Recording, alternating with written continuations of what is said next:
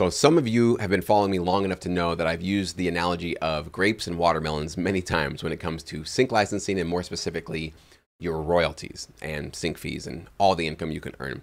Why I use that analogy is because some producers who hear that working with production music libraries generally requires you to become 50 50 partners with them, meaning that you're going to give them 50% of your sync fees generally, and you're going to certainly offer 50% of the royalties to them. They're going to keep 50% of those in terms of the publisher share, and you're going to keep the remaining 50% as the writer.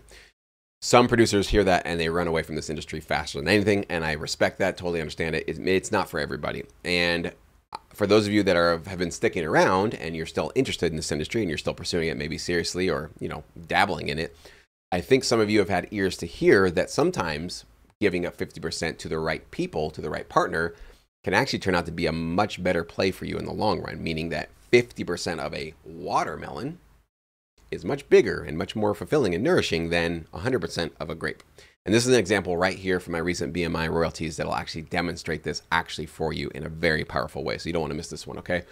So what you'll see is on the left side is I have a couple of cues that were placed on the Judge Judy program. I've been getting placements with Judge Judy for 10 years now. Actually, in all of my royalty statements, there's a Judge Judy section. It's kind of funny.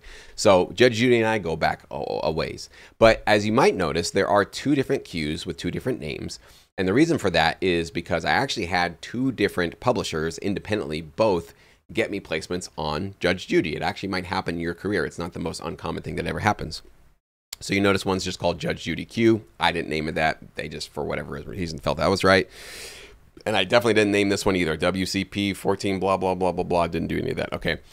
So two different placements. Obviously, you see one had 15 plays, one had 97. So one of them obviously aired a lot more. Uh, the duration, one was 15, one was 12 seconds, you know, more or less about the same. So not much different there. Both background instrumental, so not really much change there, okay? Mostly is you'll see that there's just a difference in terms of how many times the thing aired uh, over and over again, okay?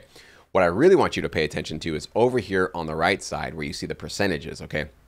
You can't see what this column is indicating, but this on your BMI royalty statement will say uh, ownership share, which does not mean total ownership of the royalties, but it means the, especially since this is my writer statement, this is the ownership of the writer share of the royalties. Okay, this might get a little confusing and convoluted, so try to stay with me. So when you see something that says 100%, like this one, that doesn't mean that I own the publishing as well. It doesn't mean 100% of all the royalties, meaning I got publishing and I got writers. That's not what that means. That means I have 100% of the writer share, which is, if you zoom out for the total royalties, only 50% of the total picture, right? Because the other 50%, or you could call 100% of the publisher share is on the library side, 100% of the writer share is on my side, the composer side. Hopefully that's clear. I know it gets a little confusing when these percentages get swapped back and forth, but just remember that. This basically means that the deal that I struck with this particular uh, publisher um, allowed me to keep 100% of my writer share. Awesome, really cool, love that. Usually I feel that that's the best way to go. Now you'll notice though, whoa, this next one, even the one below it and above it, um, I only had 50% um, writer share, meaning that of the total royalties earned for this cue, I'm actually only earning 25% of the total income, right? 25% to me, 25% to another composer that I basically split my writer share with for this opportunity. And I'll explain to you why and show you very quickly why I'm very glad that I did that. I know some people will never do that. I'll show you why collaborating, especially in the right place, the right time, with the right opportunities, can really pay off for you. Uh, I decided to basically collaborate. So that person got the other 50% of the writer share, and then the library has the remaining uh, royalty share. Okay. But if you calculate all the total income from this cue, I'm only getting 25% of it. I'm getting a minority, actually. I'm getting 20, you know, one fourth essentially of the income. So some people see and hear about a percentage and go, that's not fair, Jesse. You should not be doing that. You should have never sub- submitted that. You should have never sacrifice that. That person's ripping you off, blah, blah, blah, blah, blah. Because on the surface, it looks bad. It definitely looks bad. Here's where the shocker comes in, and here's where you're going to see the magic of watermelons versus grapes, okay? So we're going to look at how much these cues actually earn me. And as you can see, I indicated them as the top one is a grape, uh, bottom one is the watermelon. So I own 100% of this one, and I only got 50% of that watermelon. But look at what we earned here. We'll go all the way to the other side there. I guess you could see it right there anyways. But for my grape, my measly little grape that I own all of it, hooray, I own it all, 11 bucks. Never going to complain about royalties. I'm not complaining about that at all. I'll take 11 bucks every day, all day, especially on a really long royalty statement. $11 adds up after, you know, many of those piling up, okay? But look at my watermelon. Look at the thing that I took a big hit on, you know, that I really sacrificed my writer share for because of all those placements, right? 97 times it aired uh, over and over and over again, uh, even though I had a lower uh, length of, of time of placement, only 12 seconds. That's like a 16x uh, increase in the royalties that I received. Yes, the other composer, he also earned $179. And if you double $179, that's what the library earns. The library earned more than both of us um, obviously, and then the writer, the other co-writer, and I, uh, you know, each got 179 bucks. I'll take this any day, all day, when I'm sleeping, when I'm awake.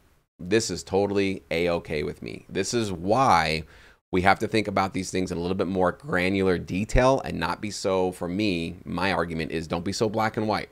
Um, with all of that being said, when you are first getting accepted into a library, I don't believe the library should be taking any percentage of your writer share unless you are co-writing with another composer or producer that is really equally giving value to your track. I have heard of some libraries that are saying, hey, we're going to mix and master your track for you. We're going to take 50% of your writer share for the privilege. I'm not a fan of that. And not many of them have done that. Literally, I think one, maybe two in the history of my career I've heard doing that. I don't think that's necessary. I don't think that's something you should be doing. Um, you can learn how to mix and master your tracks. You don't need to be giving up 50% of your income for somebody that's just literally putting polish on it creatively adding to it i think that's a different subject. And i think especially if somebody's creative creatively ad- adding to your music to elevate the production quality to help you guys get more placements and more prominent placements absolutely. Cut people in on that. Find a way to make it 50-50 and fair especially if you want to have a long-term healthy working relationship with another composer producer or vocalist okay? The exception to the rule would be let's say you're working with a library and this has happened in my career and this is how opportunities like this do pop up in my career. I'm already working with somebody and i'm generally keeping 100% of my writers but an opportunity pops up where they can get pretty much guaranteed placements with a particular client, but either they have to cut into your uh, composer or writer share, or they need to partner you with a composer or writer or an, uh, an, artist or a vocalist because they know that somebody can help deliver the goods. They know that partnering two people up can really help deliver the goods. And that's just sort of the take it or leave it offer. It's like if you want these, if you want free money, basically just sitting on the ground, we can get all these guaranteed placements, which you can air over and over and over again we're going to have to cut into the writer share. So this is where for me I have learned to become much more flexible, especially when it's literally almost as close to guaranteed placements as you can possibly get for those opportunities and it's a sort of take it or leave it, you know, take 50% of the watermelon or keep you can say no, keep 100% of your grape. I usually take 50% of the watermelon for these and this exact reason because I've seen how that mindset of flexibility can actually pay off in larger royalties for myself.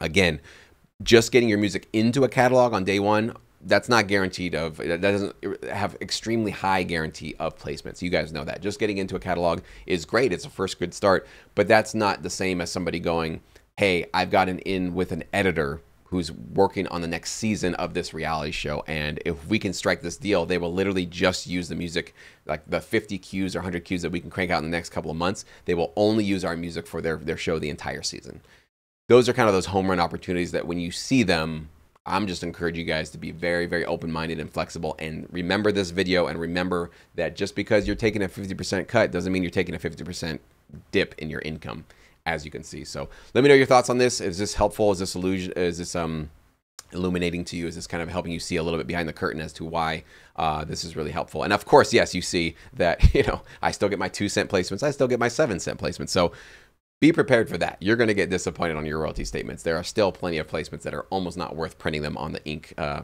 or the digital uh, printouts that they do. But again, uh, this is a numbers game. You have to have to stack up as many placements as you possibly can to get those that income to kind of rise up to the point where hopefully it can start to sustain you. And that's really what I'm trying to coach you and, and advise you guys to get to.